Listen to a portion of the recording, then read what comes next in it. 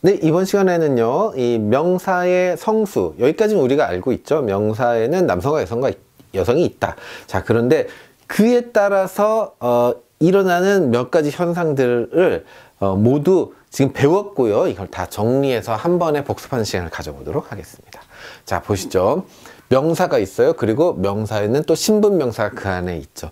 이 두 개의 차이 기억나시죠? 신분명사는 남성, 여성 두 가지가 존재하는데요. 명사는 남성, 여성 중에 한 가지로 정해져 있다. 그렇죠? 그로 인해서 동사에도 영향을 주고요. 형용사에도 영향을 줍니다.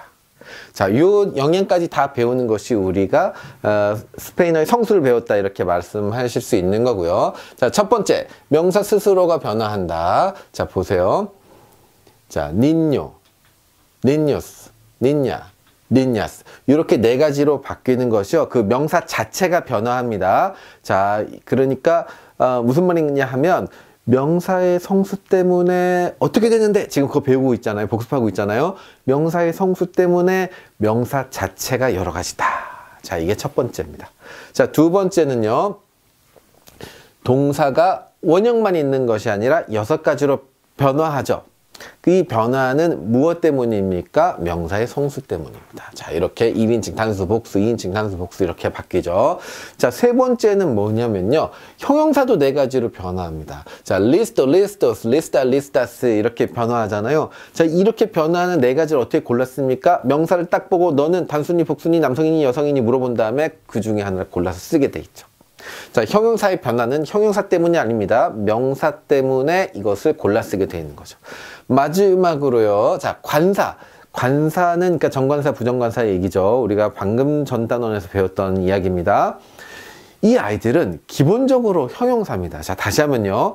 관사는요, 기본적으로 한정 형용사에 속하는 아이들이고요. 한정 형용사는 다시 말해서 형용사니까요. 자, 관사는 형용사다. 따라서 관사도 형용사처럼 명사에 따라 골라 쓴다. 자, 이렇게 해서요. 음, 명사의 성수와 그 영향 이렇게 복습을 해봤습니다. 자, 이 복습을 다시 한번 해볼게요. 자, 자, 한번 읽어볼까요? Yo soy un niño listo 라는 문장이 있는데요.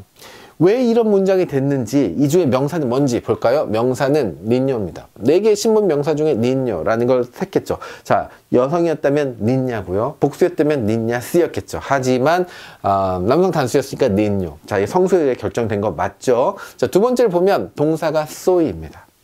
Soy. 이것도 여섯 개 중에서 골랐었다. 세 번째는요, listo. 어, 형용사 네 개 중에서 골랐었다.